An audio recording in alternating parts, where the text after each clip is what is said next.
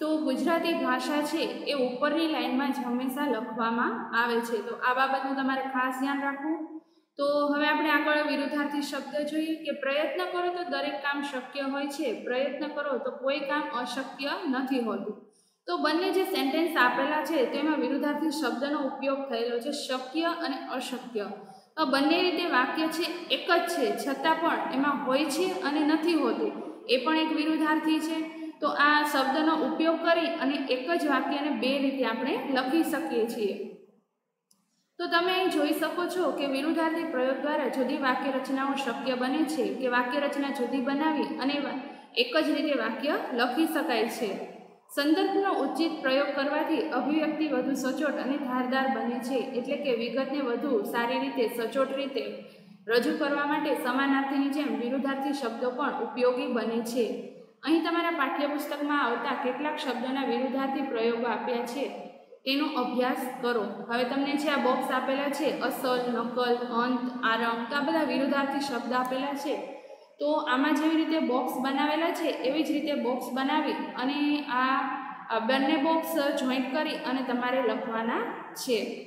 તો આપણા, તમારા જે ચેપ્ટરમાં આવે છે, એમાંથી જ આ વિરુદ્ધાર્થી શબ્દ લેવામાં આવેલા છે. તો એ બોક્સ પણ તમારે ગ્રામર પાર્ટમાં લખવાનું રહેશે. ફર્સ્ટ સમાનાર્થી તો એનું બોક્સ બનાવીને લખવાનું છે. સેકન્ડ વિરુદ્ધાર્થી તો એનું બોક્સ બનાવી અને તમારા વિરુદ્ધાર્થી શબ્દ લખવાના છે. એના પછી થર્ડ ટોપિક આવે છે જોડણી. હવે ખાસ કરી અને તમને લાગે છે કે જોડણીમાં તો શું હોય, એ તો આપણે જોઈ જઈને લખી નાખીએ, બરાબર ને? પણ એવું નથી. ઘણીવાર શબ્દ ફરવાથી એનો આખો અર્થ ફરી જાય છે કે જે તમને મેં નાઇન્થ સ્ટાન્ડર્ડમાં પણ સમજાવેલું છે કે કેટલાક એવા ઘણા એવા એક્ઝામ્પલ આપીને તમને મેં કીધેલું છે કે તમે જ્યારે પણ ફેરબુકમાં કે મિસ્ટેક કરી હશે ત્યારે ત્યાં રાઉન્ડ કરીને પણ મેં બંનેનો મિનિંગ છે એ દર્શાવેલો છે. તો એ બાબત તમારે ખાસ ધ્યાન રાખવી. તો આપણે નીચેના એક્ઝામ્પલ જોઈએ. તો આછલા કંકુ ઘોળરે લાડી આછલી હવે પિયર અને પિયળ બે શબ્દ આપણને આપેલા છે. તો પિયર એટલે જે કન્યા હોય છે, એના પિતાનું ઘર, એને પિયર કહેવામાં આવે છે. અને પિયળ એટલે જે જે કન્યાની વિદાય થતી હોય અને એના કપાળ પર જે કંકુની લાઈનો કરવામાં આવે છે, એને પિયળ કહેવામાં આવે છે. તો આછલા કંકુ ઘોળરે લાડી આપણે જાણીએ છીએ કે ગૌરી જ્યારે વિદાય થતી હોય છે, ત્યારે એના માટે જે ગીત ગાવામાં આવે છે, તો તેની અહીંયા લાઈન લેવામાં આવેલી છે. એટલે આછલી પિયળ કઢાવું તો એનો જે સેકન્ડ વર્ડ છે, પિયોર, એનો સાચો શબ્દ છે. સેકન્ડ વર્ડ વગડા વચ્ચે આસુદેવ મહાદેવનું ખાલી જગ્યા મંદિર છે. તો એકાકી અને એકાંકી. તો એકાકી અને એકાંકી, તો એક જે વાર્તા હોય છે, એને એકાંકી કહેવામાં આવે છે. અને એકાકી એટલે એકલું. તો એક ખાલી ડોટનો જ ફેર છે. આવા કેટલાય શબ્દ મેં તમને આગળ પણ સમજાવેલા છે. તો એનો જે સાચો મિનિંગ છે, એમાં આવશે એકાકી. ફર્સ્ટ કે વગડા વચ્ચે આસુદેવ મહાદેવનું એકાકી મંદિર છે, એટલે એકલું મંદિર છે, જંગલ વચ્ચે એકલું મંદિર આવેલું છે. થર્ડ વન તોય ના ખાલી જગ્યા કળાણી ઓ મેહુલા, આરજુ અને આરજુ.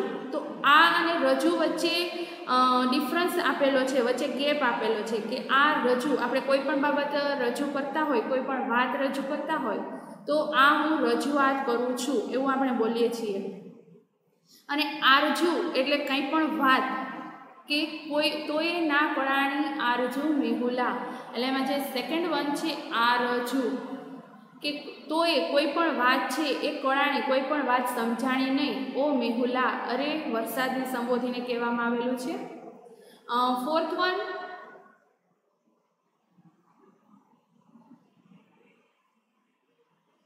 ફોર્થ વન છે કે ખાલી જગ્યાના રંગાટકામના હુનરમાં કચ્છનો મોટો ફાળો હતો. આપણે આગળ જે ચેપ્ટર આવશે, એમની આ લાઈન છે. કે કોના તો કોના રંગાટકામમાં હુનરના કચ્છનો ફાળો હતો તો કે ભારતના.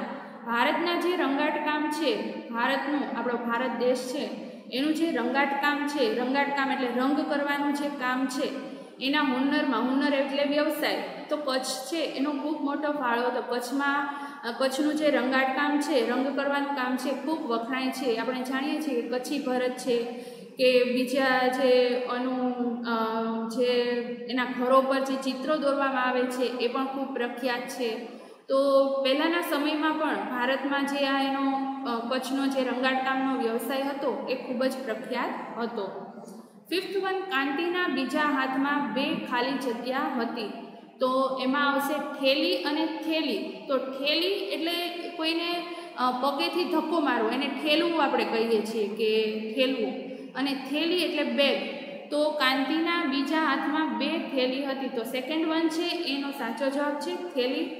આગળના જે ચેપ્ટર આપણે આવશે, એમનો આ જે છે, તો કાંતિના બીજા હાથમાં બે થેલી હતી. આ ક્વેશ્ચન છે, એ ખાસ કરી અને જ્યાં પાંચ બ્લેન્ક્સ છે, એ તમને વ્યાકરણ વિભાગમાં જે પાર્ટ સી છે, વિભાગ સી એમાં પૂછવામાં આવે છે એટલે આવી વચ્ચે વચ્ચે જે ખાલી જગ્યાઓ આવે છે, એને પણ તમારે ધ્યાનથી જોઈ લેવી.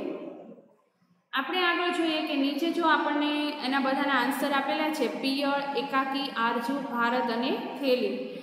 તો હવે આપણે જોઈએ, અહીં તમે જોઈ શકો છો કે માત્ર રસ્વ, ઈ, ઉ કે દીર્ઘ, ઈ, ઉ. રસ્વ એટલે જે ટૂંકું હોય છે, હે, આગળના ભાગમાં જે રસ્વ કરવામાં આવે છે અને દીર્ઘ એટલે પાછળના ભાગમાં જે દીર્ઘ લાઈન કરવામાં આવે છે એ મહત્વના છે તેવું નથી. યોગ્ય ધ્વનિ અક્ષર પણ મહત્વના છે. પિયળ અને પિયરમાં અળ અને રનો ધ્વનિ ભેદ છે. કે એમાં બે શબ્દ આપણને આપેલા છે, તો એમાં અળ અને રનો જ ડિફરન્ટ છે. પી તો જે રસ્વ છે, બે સરખું જ છે. ય પણ સરખો જ છે. પણ ફક્ત પાછળનો જે શબ્દ છે, અળ અને ર, એમાં જ ખાલી આપણને ફેર આપેલો છે. અ, ધ્વનિ ભેદ છે તો ભારત અને ભારતમાં પણ અ અને આનો ભેદ છે ભરત. બરાબર? અને ભારત તો ભ અને ભા એટલો જ ડિફરન્સ છે. તો વાક્ય બેમાં અનુસ્વારથી અદભેદ થાય છે. તો વળી મેહુલા કાવ્યની પંક્તિમાં તો વચ્ચે જગ્યા ઉમેરવા ન ઉમેરવાથી બે જુદા પ્રયોગો મળ્યા છે. આ રજૂ અને આ રજૂ તો એ બંનેમાં શબ્દ વચ્ચે ડિફરન્સ મૂકી થોડો ગેપ મૂકી અને શબ્દ બોલાય છે. હવે સ્વર ભેદે જોડણી જોઈએ આપણે કે સ્વરથી કઈ રીતે અલગ પડે છે? તો રસ્વ સ્વર અને દીર્ઘ સ્વર. કે રસ્વવાળું અને દીર્ઘાવાળું આપણે જાણીએ છીએ. તો એમાં કેવી રીતે ફરક? તો એના નીચે તમને આપેલો છે. તો અહીંયા સ્વર ભેદે જોડણી ભેદ. આટલું લખી અને નીચેની બે લાઈન લખી અને પછી તમારે આ જે પોઠો છે, આ જે બોક્સ છે એ બનાવવાનું રહેશે. તો આપણે જોઈએ કે અહીંયા કુળ અને કુળ. તો આ બંનેનો શબ્દ જે મિનિંગ છે એ અલગ થાય છે. કુળ અને કુળ, દિન અને દિન. હવે દિન અને દિન રસ્વ અને દીર્ઘ. તો પહેલું જે દિન છે, એનો મતલબ થાય છે દિવસ. રસ્વ દિન છે, એનો મતલબ થાય છે દિવસ. અને જે દીર્ઘ દિન છે, એનો મતલબ થાય છે ગરીબ. દિન એટલે ગરીબ. મતી અને મતિ. તો મતિ પહેલો જે મતી શબ્દ આપેલો છે, રસ્વવાળો. તો મતીનો શબ્દ થાય છે બુદ્ધિ. અને મતી બીજું છે, આપણે જે નદીની પાછળ કે કોઈ સ્ત્રીની પાછળ લગાડવામાં છે સાબર, મતી એવી રીતે, તો એ મતી આપેલો છે. તો આવી રીતે આ બધા શબ્દ છે, એના જે રસ્વ અને દીર્ઘ થવાથી એનો મિનિંગ ફરી જાય છે. આ ઉપરાંત એક સ્વરના બદલે અન્ય સ્વર લખાઈ જાય કે સ્વરની ક્વાનો માત્રાની નિશાની બદલાઈ જાય, તો પણ જોડણીભેદ અને તેથી અર્થભેદ થઈ શકે છે. તો અપેક્ષા અને ઉપેક્ષા, ઉપહાર અને ઉપાહાર આ બંનેનો અર્થ છે એ અલગ અલગ થાય છે. તો રસ્વ અને દીર્ઘ તો ઠીક છે, પણ જેનો સ્વર બદલાઈ જાય છે, એક એક અક્ષર આગળનો બદલાઈ જાય છે, તો પણ એનો મિનિંગ છે એ બદલાઈ જાય છે. આગળ જોઈએ આપણે વ્યંજન ભેદે જોડણી ભેદ, કે ળ, ડ, ર, લ, એના પર જે જોડણી ભેદ છે એ અહીં આપણને આપેલા છે. તો અસ્ત્ર, શસ્ત્ર, કાગડો અને કાગડો, અળ અને ડનો ડિફરન્સ છે, ર અને અળનો ડિફરન્સ છે શ અને સનો ડિફરન્સ છે. શ એટલે શકોરાનો સ અને સ એટલે સસલાનો સ. પણ બંનેને તમે અલગ અલગ મૂકો તો એનો શબ્દનો અર્થ છે એ અલગ અલગ થાય છે. શના બદલે સ મૂકો તો એ અલગ થાય છે બંનેનો મિનિંગ તો તમારે છે ફર્સ્ટ ઓફ ઓલ જોડણી હેડિંગ દેવાનું છે. એના પછી એ આ પાંચ જે બ્લેન્ક્સ આપેલી છે એ લખવાની છે. એના પછી અહીંયાથી સ્વરભેદ, જોડણી ભેદ એટલું લખવાનું છે, એના પછીની આ જે બે લાઈન આપેલી છે, એ લખવાની છે. એના પછી તમારે આ બોક્સ લખવાનું છે. એના પછી જે આ આપેલું છે, આ ઉપરાંત એક સ્વરના બદલે અને જેમ કે પછી નીચેના જે છ વર્ડ આપેલા છે, અપેક્ષા ઉપવાર કરણ, શસ્ત્ર, બેહોશ અને વરસ, એ લખવાના છે. એની સામેનો જે બીજો શબ્દ છે, એ લખવાનો છે. પછી વ્યંજન ભેદ અને જોડણી ભેદ, એટલું જ લખવાનું છે. નીચેની જે તમને ચાર પાંચ લાઈન આપેલી છે, એ તમારે લખવાની નથી. અને વ્યંજન ભેદ જોડણી ભેદ એમ હેડિંગ આપી અને ડાયરેક્ટ તમારે આ જે બોક્સ છે એ લખવાનું છે.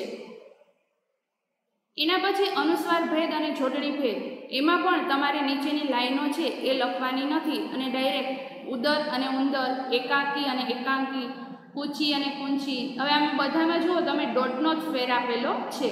તો આ જે જે આ લખી અનુસ્વાર ભેદ જોડણી ભેદ હેડિંગ આપી અને નીચેના જે આ છ શબ્દ છે એ લખવાના છે.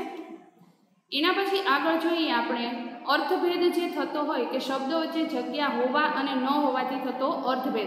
એટલું તમારે હેડિંગ આપવાનું છે અને એના પછી જે આ છ આપેલા છે, ક, ખ, ગ, ઘ, તો એ છ ડાયરેક્ટ લખવાના છે. વચ્ચેની હજી ચાર પાંચ લીટીઓ આપેલી છે, એ લખવાની નથી.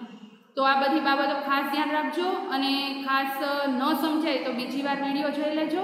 પણ પ્લીઝ તમે લોકો આના બાબતે, કોઈ પણ બાબતે મને કોલ કરશો નહીં, અથવા તો મેસેજમાં પણ કરશો નહીં. તમે ન સમજાય તો બીજી વાર વીડિયો જોઈ લેજો. કે તમારે શબ્દો વચ્ચે જગ્યા હોવા કે ન હોવાથી થતો જે અર્થભેદ છે, એટલું લખવાનું છે. એના પછી ચાર પાંચ લીટીઓ છે, એ લખવાની નથી. એના પછી ડાયરેક્ટ તમારે આ જે છ વર્ડ આપેલા છે, ક, ખ, ગ, ઘ. એ લખવાના છે. અને એના જે શબ્દ સાચી જોડણી છે, અહીંયા નીચે તમને અહીંયા એના આન્સર આપેલા છે કે જે સાચું છે, એમાં તમારે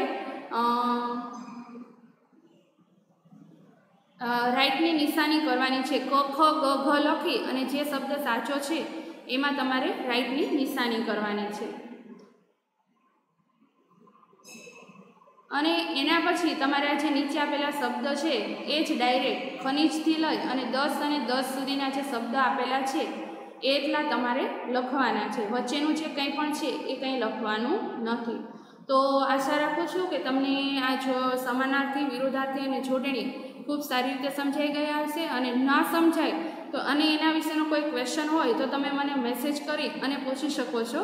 તો જ્યાં પણ તમને ના સમજાય એ શબ્દ વિશે તમે મને પૂછી શકો છો, તો મેસેજ કરી અને મને પૂછી શકો છો.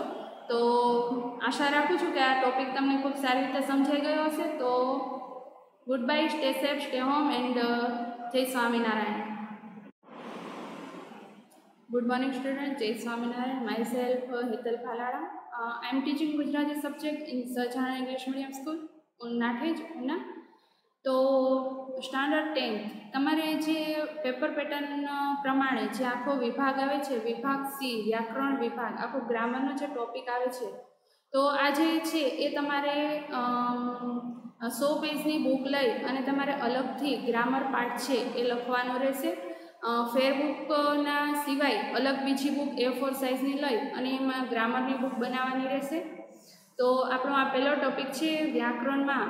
સમાનાર્થી વિરોધાર્થી અને જોડણી. તો આને જોતાં પહેલાં તમને એવું લાગે છે કે એમાં શું સમજવાનું હોય? કે સમાનાર્થી વિરોધાર્થી જોડણી છે એ તો મને આવડે જ છે, એવું લાગે છે ને? પણ જેટલું તમે સરળ સમજો છો, એટલું સહેલું નથી. એ તમે નાઇન્થ સ્ટાન્ડર્ડમાં જોઈ ગયા છો કે જેટલું આ સમજીએ સહેલા સમાનાર્થી વિરોધાર્થી અને જોડણી એટલા સહેલા નથી. કારણ કે એક જ શબ્દ આપેલો હોય અને એના એક જ જેવા તમને એની સામે ઓપ્શન આપેલા હોય. તો તમારે એ ડિસાઈડ કરવું મુશ્કેલ થઈ જાય છે કે આમાંથી સાચો જવાબ કયો છે. પણ જો તમે એને એકવાર રીડ કરી નાખ્યું હોય કે તમે એને સમજી લીધું હોય, તો તમને ખ્યાલ આવી જાય છે કે એનો સાચો શબ્દ કયો છે. તો આપણે જોઈએ, સૌપ્રથમ કે સમાનાર્થી શબ્દ છે એ આપણને અહીં આપેલા છે બોક્સમાં તો સમાનાર્થી ટોપિક હેડિંગ આપી સમાનાર્થી અને નીચેની જે લાઈનો છે એ તમારે લખવાની નથી, પણ ડાયરેક્ટ નીચે આપેલું જે બોક્સ છે એ તમારે અહીંયા જેવી રીતે બોક્સ છે એ પ્રમાણે બોક્સ બનાવી અને તમારે આ બધા વર્ડ છે એ તમારે ફેરબુકમાં લખવાના છે. તો અચાનકની સામેનો જે શબ્દ છે એ જેની, એનો જે સાચો શબ્દ છે અચાનકની સામે. તો એના ત્રણ જે છે એના જવાબ છે. અચાનક છે, એ ક્વેશ્ચન બોક્સ છે આખું.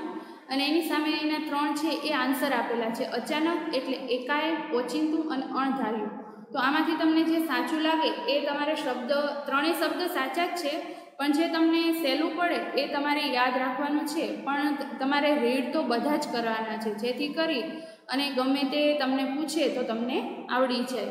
તો આગળ આપણે જોઈએ તો આખું બોક્સ છે એ તમારે એમાં ક્લિયર કરવાનું છે. આખું બોક્સ એમાં ફેરબુકમાં ગ્રામર ફેરબુક છે એમાં લખવાનું છે. અને જે આ બોક્સ છે એ પણ લખવાનું છે અહીંયા હોશિયાર સુધી. હોશિયાર સુધી જે છે એ તમારે કમ્પ્લીટ કરવાનું છે. જે પહેલું બોક્સ છે એ ક્વેશ્ચનનું છે. એ તમારે અલગથી લખવું હોય તો તમે લખી શકો છો. અને બી બાકીના જે ત્રણ બોક્સ છે એ સામે એના ત્રણેય આન્સર છે. જેમ કે હોશિયાર છે ક્વેશ્ચન છે. અને કુશળ, નિપુણ અને પ્રવીણ એના ત્રણ છે એ જવાબ છે. આપણે જાણીએ છીએ કે આગળ આપણને આવી ગયા છે કે એક સમાનાર્થી હોય તો એના બે જવાબ હોય છે. તો એવી રીતે આ એક સમાનાર્થી શબ્દ છે, એના ત્રણ જવાબ આપેલા છે. તો આગળ આપણે વિરુદ્ધાર્થી શબ્દ જોઈએ.